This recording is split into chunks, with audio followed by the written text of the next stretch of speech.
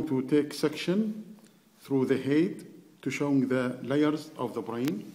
This is the upper part. I'm remo- removing it.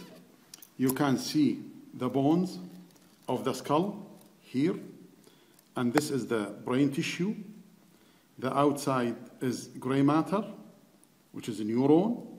Inside, white matter. This is hemisphere, and this is the another hemisphere with the central sulcus and the other central sulcus. Between hemispheres, longitudinal fissure, which is occupied by this structure, falx cerebri. And you can see section of the superior sagittal sinus, and here is the other part. Going more in sections, the same hemispheres you can see with falx cerebri in the middle, and you can see these fibers, which are the corona radiata. They are corticospinal fibers or tract, and we call them corona radiata. Going more, I can see two cavities inside the brain tissue. They are the lateral ventricles, the left and the right one. In between, uh, there is septum pellucidum, and you can see the fibers here passing from one hemisphere to the other. These are the forceps minor and the forceps major, and the uh, uh, two parts of the corpus callosum. And only anterior and posterior part of the falx cerebri, uh, I can see here the inferior sagittal sinus. Going more in the sections, I can see very clearly the anterior horn of the lateral ventricles and the posterior horn of the lateral ventricles with the choroid plexus inside. And this is the septum pellucidum in the middle. I can see other structure here, which is the thalamus and the other thalamus here, and the head of the caudate nucleus. This is the tail of caudate nucleus. And from the fibers, they are forming internal capsule, internal capsule, anterior limb, and posterior limb.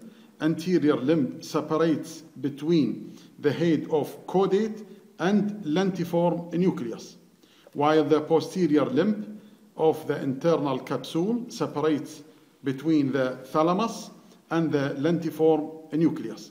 And outside this line, you can see this is the external capsule. External capsule separates between lentiform nucleus internally and this black in color, we call it claustrum. All these parts related to the basal ganglion.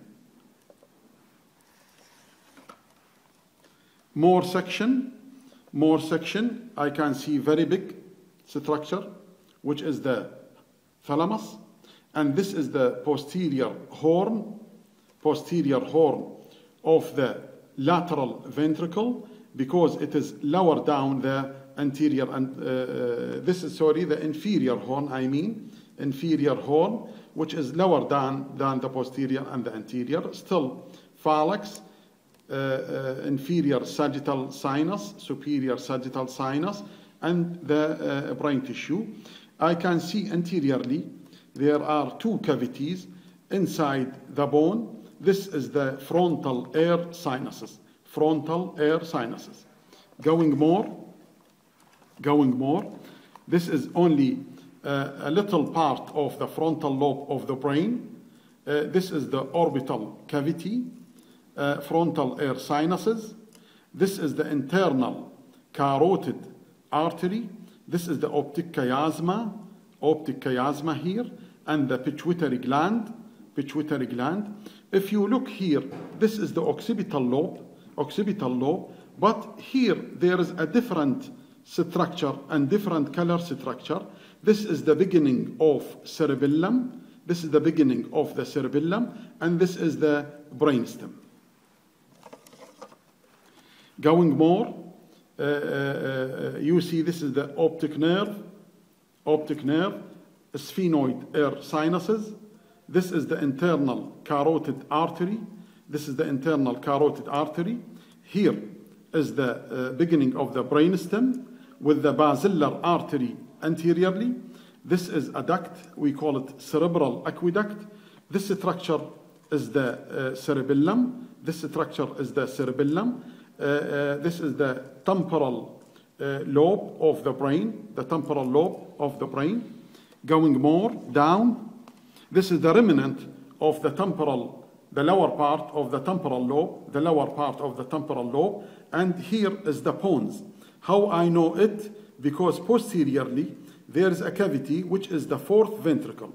The fourth ventricle located between the pons anteriorly and the cerebellum posteriorly. You can see, you can see the fissures transverse the run of the cerebellum. And posterior to them, this blue in color, this blue in color, this is the transverse venous sinus. The transverse venous sinus or sinuses. Going more in the structure, here, this is the cerebellum, cerebellum, and this is the occipital sinus located here, and this is the beginning of the sigmoid sinuses, sigmoid sinuses, and here is the sphenoid sinus and the lower part of the uh, temporal lobe.